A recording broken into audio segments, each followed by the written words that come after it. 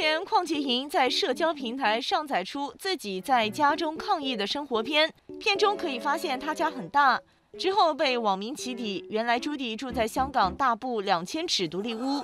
这天，朱迪拍摄《学是学非》的时候，就解释说，纯粹是片段的角度问题。没有，其实没有很关注。我觉得应该是，就是最近大家可能也是有比较多空闲的时间，所以有比较留意我的那个片段。其实真的也没什么特别了。其实真的，我拍摄的那个角度可能也比较看起来比较大，但是没有。可以叫我们，我我也想，我也看起来看上比较大，你知道了。好了，哪一个角度都是没有了。我觉得就是大家可以在这个疫情过后，大家都来我家，就是大家可以什么呃打边炉啊、派对这样，就就知道我家的真身到底是怎么样。说好了，我们一定会去的哦。很认真的是。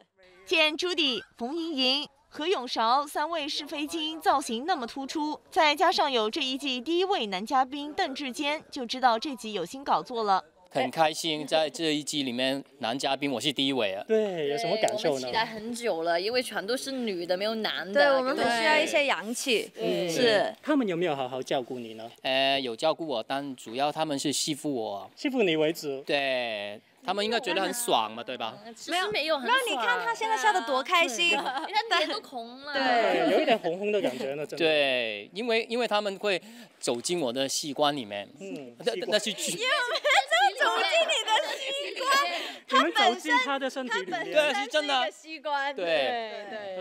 然后其实今天我们每个人都有很多就是不同的造型，然后莹莹是是逼毛，逼毛小姐，对，很可爱。嘛。好可爱，看不出来。很很大一条哦。对对，因为你们我们把它的毛剪短了，对对，修剪因为是修剪了镜头嘛，拍不了进去哦。你呢？而且那么性感的呀。我是他是病毒，很性感的呃，是坏人，病病毒魔鬼。那你呢？你呢？我看我这个红红的造型就知道我是一个正义侠。我是 英雄嘛，对不对？正义英雄是矮侠，矮侠。对。那你呢？我就是人体，人体啊，对。唯一个正常人的机会。对。我我是正常人，然后他们爬进我的器官里面，我们就是要大大出一些健康。器官呢有很多毛，也是很也有很多水啊里面。对，因为我敏感嘛，就是。鼻子敏感，鼻子很敏感，对。